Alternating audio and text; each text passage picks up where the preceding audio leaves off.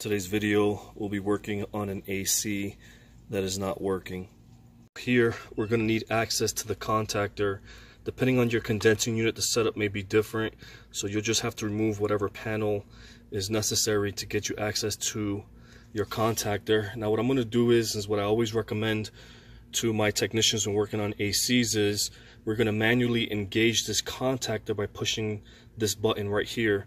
Now once we push that button in, I want to see if my condenser unit will turn on.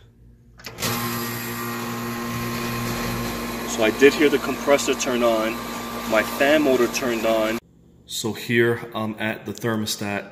It's already set to cool in auto. It was already set to this position when I came to look at the thermostat. You can see here the cool is blinking. Now at this point, I know that I have a low voltage issue. The reason is once I set my thermostat to cool in auto, that should send a signal to my contactor. So that button that I push with my finger should have already been engaged because this is set to the cool and auto position. So right now I'm gonna pull this cover and I'm gonna check the voltage reading coming from my thermostat. So here I have my multimeter and it's on the power coming in 24 volts on the R terminal and here I'm on the yellow terminal which is going to be my condensing unit and you can see that I do not have voltage coming in. Here I'm going to check my voltage at my contactor. This is my low voltage and I do not have voltage coming in. This is my line coming in so I have my voltage 235 volts coming into my contactor so we're having an issue on my low voltage side. So here I pulled my lead coming off of my R terminal. This is my lead coming from my Y terminal. And basically I'm going to try to jump it. If I tap these two wires my condenser unit should turn on. And right now I can the condensing is like right outside the window. And I don't hear any power going to my condensing unit.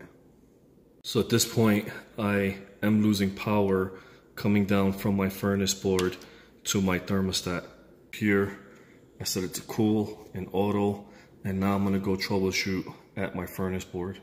So here, I'm at my furnace, my board's gonna be inside. Here we have a little sight glass. This is gonna allow us to look at the actual LED light that's turns on and off. And so basically when you look on there, you should be able to determine what codes or what faults are coming up on the furnace board. I'm going to remove this panel so that I can get access to the board. Once you remove this panel, you're going to have to manually engage this switch. This will bypass the actual panel that's on here and this will allow you to kind of see and troubleshoot the board uh, so that you, you, you won't have any restrictions when you're putting your multimeter probe and working on it. Just be careful when you're working on this board. There is uh, going to be power, both uh, 120 volt and low voltage wiring. So just be very careful when you're working on your system.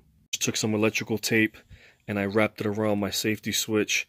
And this is going to allow me to just come over here and just kind of work on this board. Um, just be careful, be careful, as I said, because right now I'm tricking the system into thinking that this panel is on. When you remove this panel, this safety switch will actually uh, disengage and it will kill the power to your board. Or, I mean, obviously the board is lit, so I know that I do have low voltage coming in from my transformer. This is my transformer in the back. I have my voltage coming in 120 volts that's going to be the black and the white lead if you see right there and then I have my blue and my red that's going to be my low voltage wiring you can see there on the transformer if you're unsure secondary 20 volt and then it shows your blue and your red right there if you lost power to your board if you didn't have any power coming to this board it would most likely going to be uh, issue with your transformer. So here I'm going to pull my wires and you can see once I pulled my wires from my transformer, my LED light is no, lo no longer flashing. That's because right now my board doesn't have any power coming in. So here I just put my multimeter, my probes going inside both leads.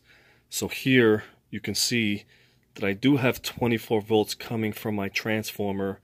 So right now at least we've eliminated the issue of the problem coming from the transformer itself. At this point we're just going to reconnect our two leads. Once I did that you can see that the LED light is flashing so that's telling me that my board is getting 24 volts. Right now, I'm just checking my low voltage wiring and I've checked all the terminals and you can see here, I am not getting any voltage coming to my low voltage wiring on my terminals. Now I'm going to remove the power to my system. So here I have an outlet. This is basically supplying my 120 volts going into my system. You may have something that's a switch. Go ahead and turn that switch off. But on this one, we're going to pull the power. And you can see here, my board is no longer lighting, so I do not have power going to my furnace. Now what I'm going to do is we're going to inspect our fuse. So here I've removed the fuse and you can see that the fuse blew.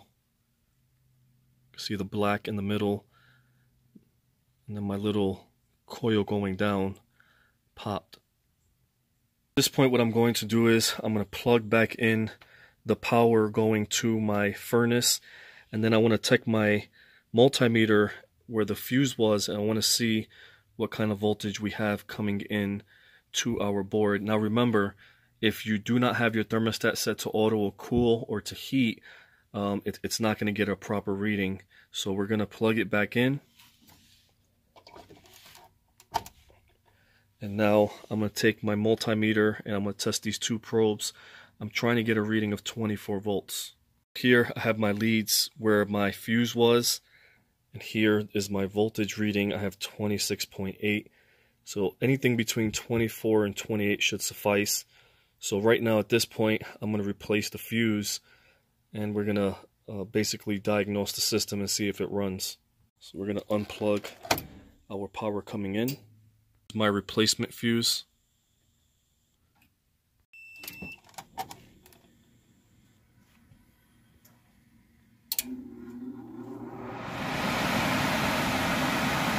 So here the system is running, the blower motor kicked on. I do hear the refrigerant bubbling over and I did inspect my condenser unit. It is running. And right now before I leave, I just want to check my voltage here on my common to my Y terminal, which is going to be for my uh, condensing unit, and just make sure that we're getting the proper voltage there. So here I have one on my common, one terminal's on my Y terminal, which is my yellow wire, and here I do have a reading of 25 volts.